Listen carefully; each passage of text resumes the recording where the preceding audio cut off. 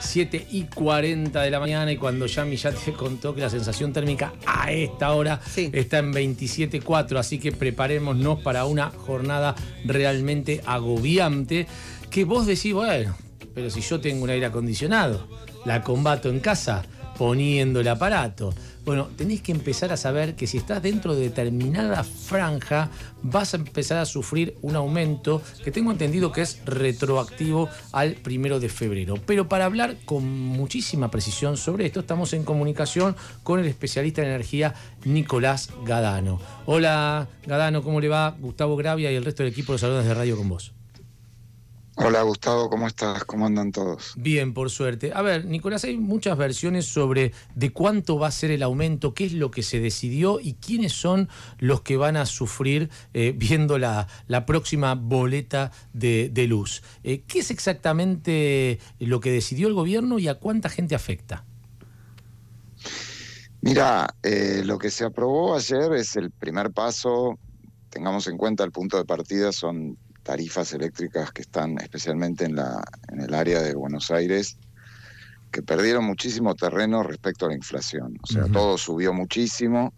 Eh, para que se den una idea, en los cuatro años entre diciembre del 19 y diciembre del 23, eh, como ejemplo, si vos gastabas 100 mil pesos en diciembre del 19 en tus gastos del mes, para mantener los mismos gastos tenés que gastar 1.200.000 en diciembre del 23. Eso fue la inflación, ¿no? La del INDEC.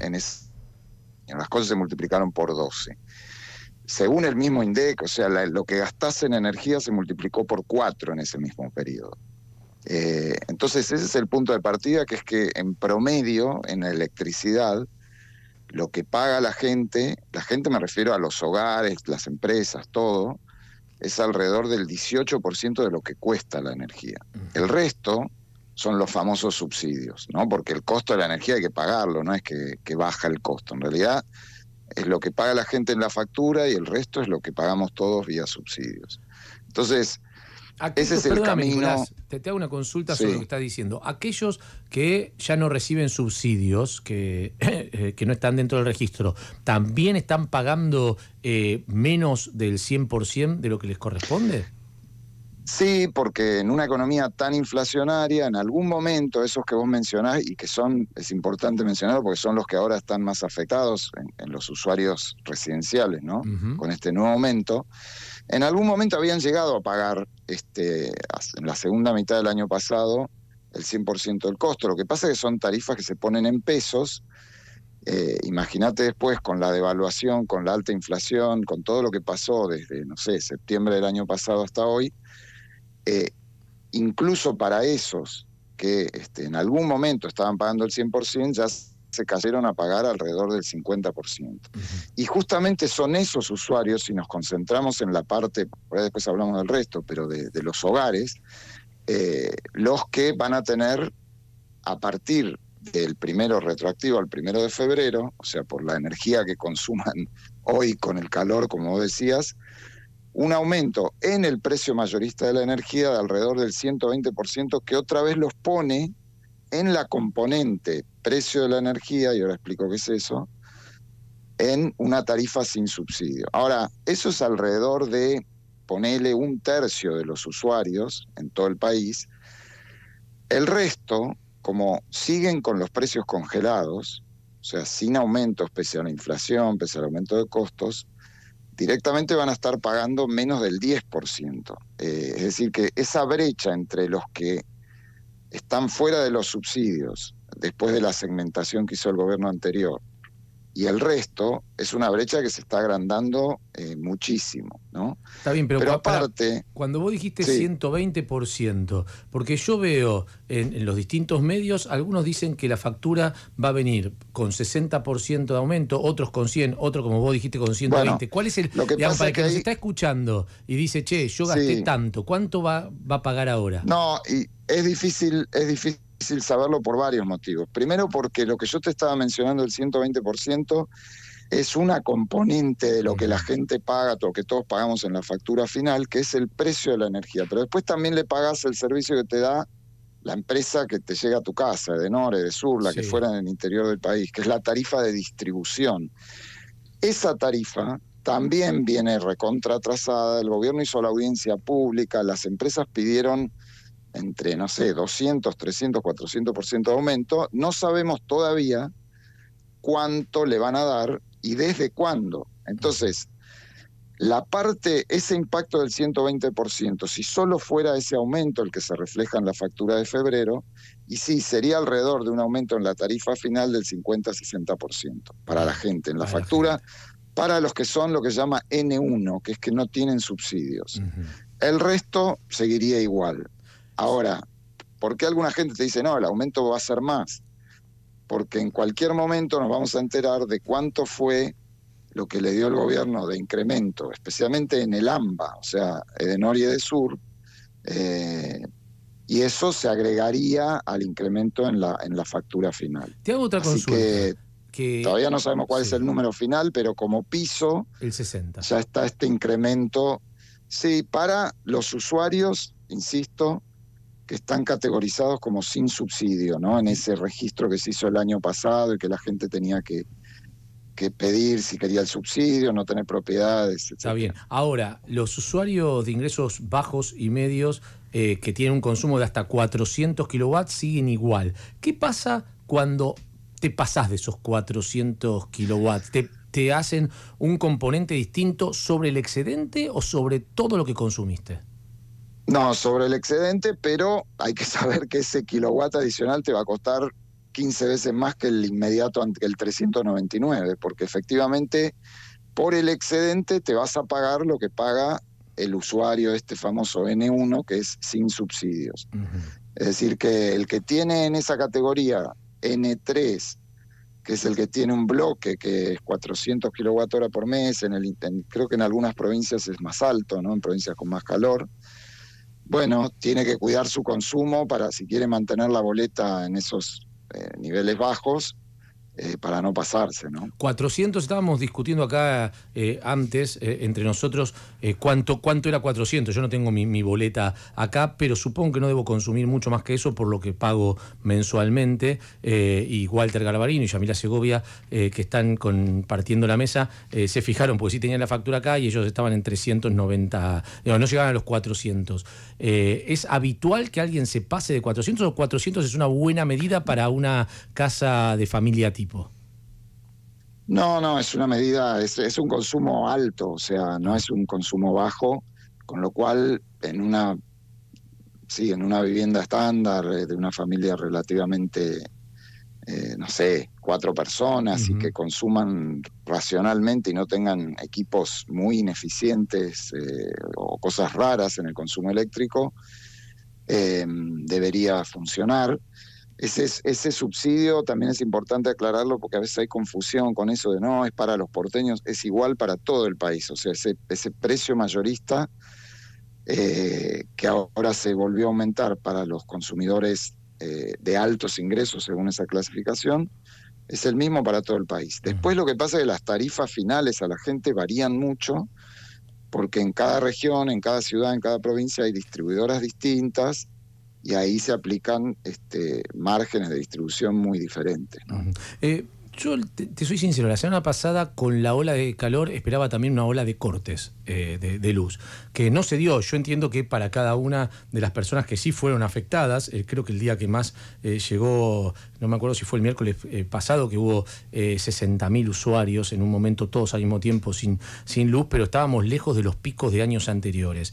Esto se produjo porque hubo inversiones, porque, ¿por qué no se produjo, digamos, la, la ola de cortes que creo que no solo yo imaginaba, sino mucha gente?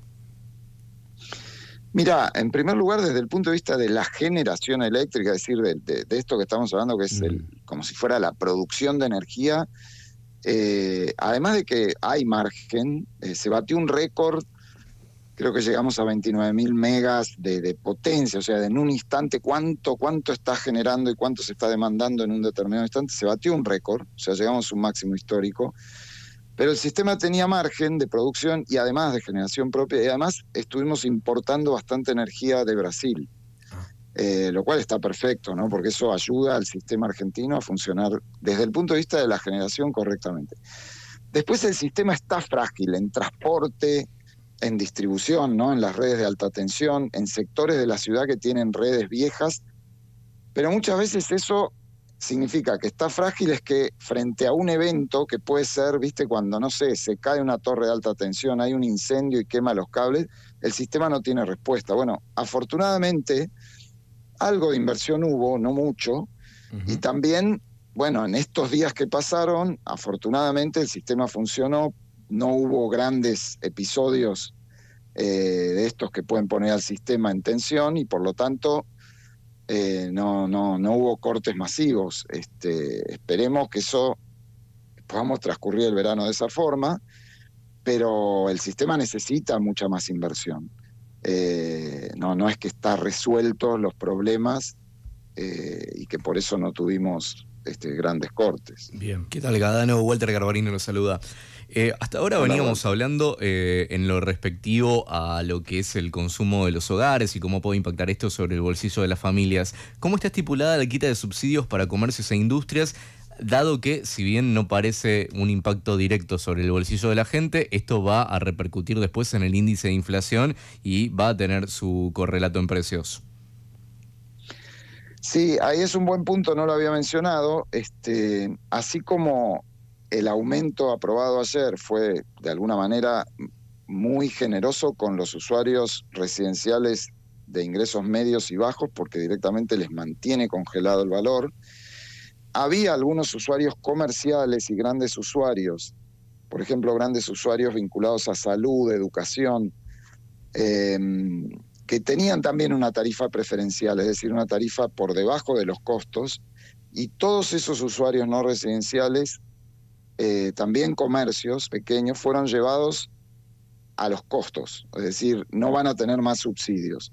Por lo tanto, ahí hay algunos aumentos eh, que son más grandes que ese 118 o 120% que yo mencioné, eh, tipo 200, 300%. en el costo eléctrico, ¿no? Después, recuerden, está el tema de la distribución. Y bueno, y eso sí, en esos, en esos usuarios este, se va a sentir mucho más fuerte a partir de febrero. Eh, pero, bueno, la verdad que también hay que entender. Nicolás, perdóname, pero el costo, ponele de kilowatts, es el mismo, no sé, para Arcor que para el tipo que tiene un local que vende ropa en Liniers, en ese caso? No, no, no. Arcor, ah. grandes usuarios, incluso están por fuera de la las ah, grandes plantas tienen contratos por fuera de las distribuidoras. Okay. Pero digo, para usuarios no residenciales, eh, que es comercios, pymes, y eso el gobierno también había armado, el gobierno anterior, un esquema como si fuera de segmentación, es decir, dependiendo del consumo y dependiendo de las características del usuario, eh, había tarifas más subsidiadas que otras. Bueno, esos subsidios se están levantando todos ahora.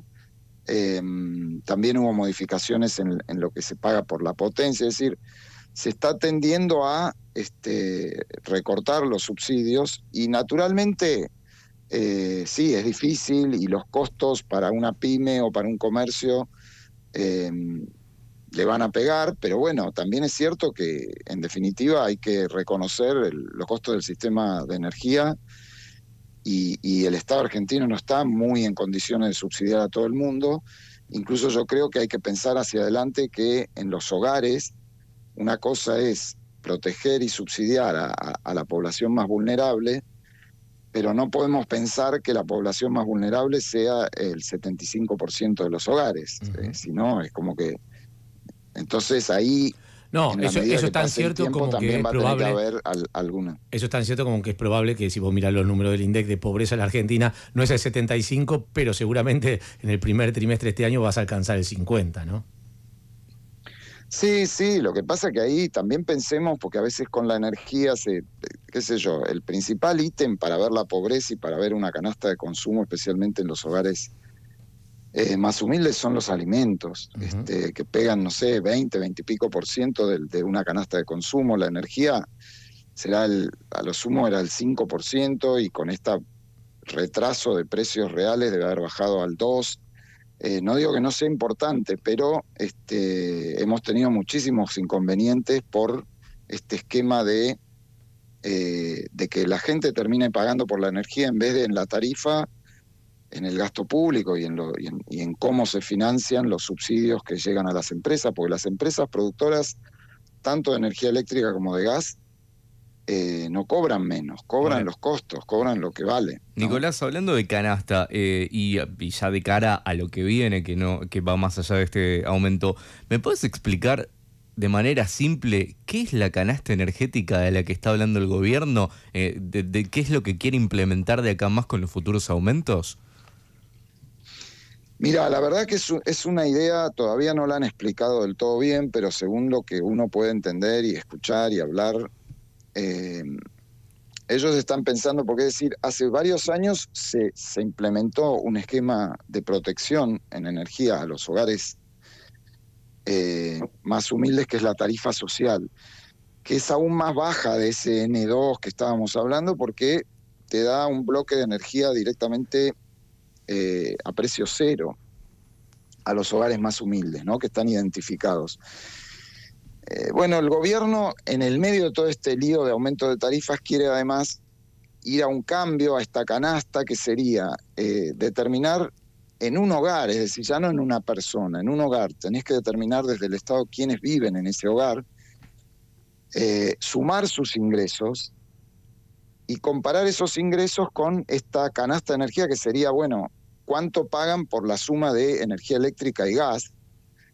Y de alguna manera establecer un máximo, un tope máximo de cuánto le pega ese costo de la energía, del gas y la electricidad respecto a sus ingresos para que no supere, digamos, un X por ciento. Yo mencionaba el 5%, el 6%.